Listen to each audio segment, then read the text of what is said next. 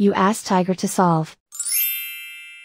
This deals with linear equations with one unknown. The final result is x equals 5. Let's solve it step by step. Group all constants on the right side of the equation.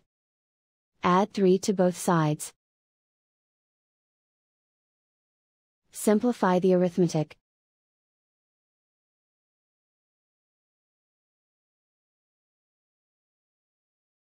Isolate the x. Divide both sides by 7.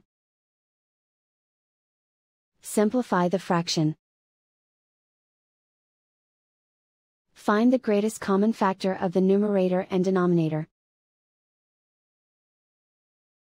Factor out and cancel the greatest common factor.